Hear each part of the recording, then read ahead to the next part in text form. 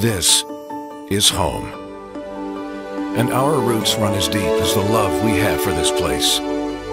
Owned by the same Cincinnati company for more than 70 years. And what matters to you matters to us. This is WCPO 9 News. We thank you for choosing us. I'm Evan Millward. Here's a look at some of the top stories at this hour. Two local schools are now asking parents to talk to their kids about a new TikTok trend. It's called Devious Licks. It's got students vandalizing school property, mostly bathrooms. We told you last week about damage at Camp Ernst Middle School in Boone County.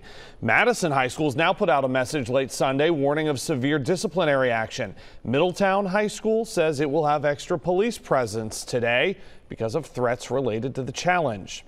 Today is a remote learning day for Newport Independent Schools. Classes were canceled Friday amid a growing outbreak of COVID-19 cases. Tuesday will also be a remote learning day, and when students return, the district will continue requiring masks. Kentucky's statewide mask mandate for public schools ended Friday, but 136 of the state's 171 public school districts will continue. Joey Jaws Chestnut defends his title in the Oktoberfest Cincinnati World Bratwurst Eating Contest. He downed 68 of them in 10 minutes. Miki Sudo came in second with 66. High drama on the big stage today. Chestnut said his goal was to beat his previous world record of 70 brats in 10 minutes. He fell just short of it.